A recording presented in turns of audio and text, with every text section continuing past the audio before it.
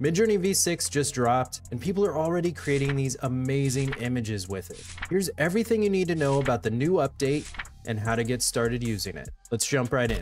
We'll start with the announcement. David on the Midjourney Discord says, we're gonna let the community test an alpha version of our V6 model over winter break starting now.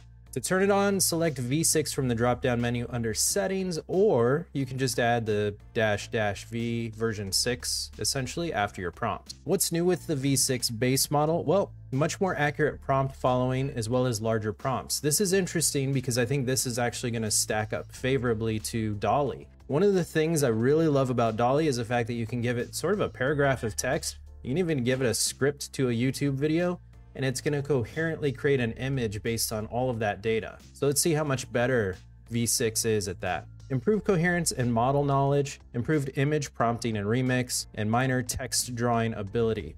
That's cool because one of the big things from SDXL and from DALL-E 3 is that it's getting better and better at creating coherent text on images. So we'll test that out as well. There are a whole bunch of new arguments you can pass. Here are some of the bigger changes though that I want to talk about. Style and prompting for V6. Prompting with V6 is significantly bolded different than V5. You'll need to relearn how to prompt. That's kind of a key thing. So I don't want to just drop in some version 5 Midjourney prompts into this and expect some new miraculous things to happen.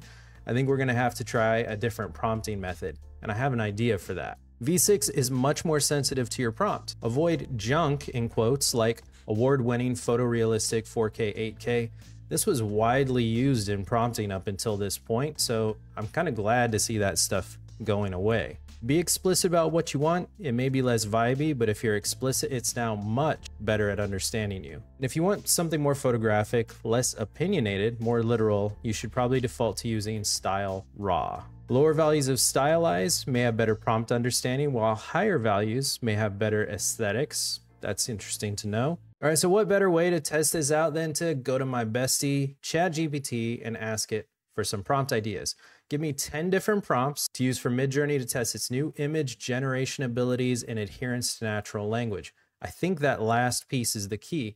I want to be able to test this in a way that uses more natural language prompts because V6 has changed drastically over previous versions of Midjourney. So we've got 10 different options here. We're going to drop these into DALL-E 3 and we're going to drop these into Midjourney V6 and compare them side by side. Now the reason I'm testing it with DALL-E 3 and specifically the Bing version of DALL-E 3, Bing Image Creator, is that Bing Image Creator is arguably one of the best free image generation tools out there. So I think just comparing these side by side is going to be nice. It's also really good at understanding long paragraphs of text. The first thing we'll do in Midjourney, of course, is enable V6. So we did slash settings. We're going to drop this down and you can see Midjourney Model V6 Alpha. Just select that from the box. Now that's going to be the default going forward. Our first test prompt from ChatGPT is a bustling futuristic cityscape at dusk with neon lights and self-driving cars zooming down multi-level highways. The skyline is dotted with sleek high-rise buildings and drones are flying in the sky. Let's kick this off in both systems. All right, and here are the results from the first prompt. Now, the first thing you'll notice is that both of these have drones flying through the sky. They have a very similar vibe to them, both very dark, the interesting thing is there's a lot of neon going on in the Bing image creator version, and it looks a little bit more cartoony, like an illustration, which is pretty standard for Bing and DALL-E 3. The one on the left from Midjourney is quite a bit more detailed. It's still not as high quality as I would have expected. It's not really a photograph. You can still see there's a lot of abnormalities around the cars, things like that, but interesting nonetheless. And you can see that both of them had a similar adherence to the actual prompt that we gave them, even though it was a sort of complex sentence and not something as descriptive as you'd normally provide to one of these systems. Let's try another one. Our second prompt is an advanced 3D printing workshop filled with state of the art 3D printers of various sizes the room is busy with engineers and designers working on intricate projects from small gadgets to large mechanical parts. GPT knows me really well. It knows that I love 3D printers. This could be pretty cool. And here are the results. Both systems produced very similar sort of print farms. It looks like a whole bunch of 3D printers in various warehouses. I will say the creativity looks to be a little bit higher on Bing, but You've got to give the aesthetic and the overall photorealism to version 6 of Midjourney for sure. This looks obviously more cartoony on the Bing image side, which again is sort of the aesthetic that Bing always has with all of its images. Very cool. Let's check out another one. For our third image, we've got a modern living room showcasing an AI powered home automation system. The room includes voice controlled lighting, automated window blinds, a robot vacuum, and a central hub with a holographic display. That's very specific. And here are the results back from both. Now, obviously, I can't tell if these are automated blinds or not, but you can see on the wall there's some sort of holographic design diagram, some sort of interface from the Bing Image Creator side. These also all seem to have, at least from Bing Image Creator, a robot vacuum. So it followed the prompt very well there. Now, on the version 6 Midjourney side, we've also got what appears to be robot vacuums in at least three of the images. I don't see one in this upper left. These are, again, very photorealistic. What I don't see in the Midjourney images is any sort of indication of a holographic display that was mentioned in the prompt. Number four, a conceptual design of a futuristic self-driving car. The car should have a sleek aerodynamic shape with transparent glass panels, advanced sensors and wheels, that suggest high speed capabilities. I gotta say, these are pretty cool. You can see the Midjourney versions on the left. It's got a lot of glass, a lot of transparent materials. It really followed the prompt well. And I would say these definitely look like a sleek, sort of high speed vehicle. On the right hand side with Bing Image Creator, we've also got some really slick looking vehicles. It looks like they stole the grill straight from a Mercedes, but apart from that, these all also look like very advanced self driving vehicles sleek, full of glass. One of the things that you'll notice with this is it seems like both systems are pretty good at understanding these prompts and creating an image. It's I'm almost shocked at how similar the images are that are created with both DALL-E and Midjourney, not from an aesthetic point of view, but just from an overall following the prompt perspective. Now, if you look solely at the quality of the images, obviously Midjourney V6 is far superior. You see the lighting, the reflection, it looks like a photo versus more of again that illustration style. So depends on what you're trying to get out of these systems, but both of them seem to follow the prompts really well. And this is something cool to see out of Midjourney. Let's jump on and check the next one. So for image number five, we have a depiction of everyday life enhanced by artificial intelligence. Show various AI applications like a smart fridge suggesting recipes, a virtual assistant planning a day, and an intelligent security system monitoring a house. That's a lot going on in that image. Again, we have kind of shockingly similar results from both systems. It sort of picked up that you have multiple things going on. I think DALL-E really did a good job here illustrating that there are three or four different asks in the prompt and sort of highlighting those in separate scenes, if you will, within a single image. It did this in, it looks like all four of the images. Now, a little bit different from Midjourney, but it looks like it sort of did the same thing in the first image. And then the second, third, and fourth are just sort of depicting this sort of futuristic home, it looks like. Still very cool images, and I would say both have a very similar coherence and adherence to the prompt. Number six, 3D printing and space exploration. A scene depicting the use of 3D printing and space exploration.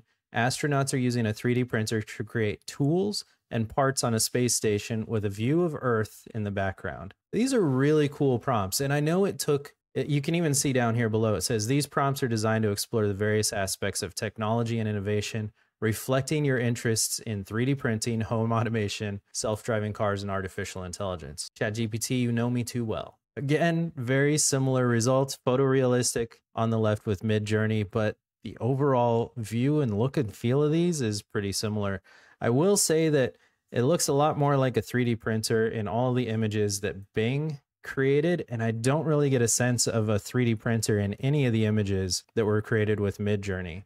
They're all based in space. They're all seemingly exploring something. Although with that hatch open in the back there, I think these guys would all be dead. But beyond that point, I think Bing wins out here for following the prompt a little bit better, even if the image quality isn't as good. Number seven, smart city powered by an AI automation. Panoramic view of a smart city powered by AI and automation. Include features like automated public transport, energy efficient buildings, and interactive digital billboards. Again, a lot going on here. On the Midjourney side, we've got some beautiful futuristic looking cities that came back. I love this one with all the trees running through the roadway. I hope the future cities actually look like that. On the Bing side, it looks like what they did is sort of again highlighting different elements within the picture, showing these circles, these arrows that sort of indicate here's the automation features, here are energy efficient buildings, here are digital billboards. It's more of something you'd have in almost a brochure, for example. Number eight, next generation home office setup.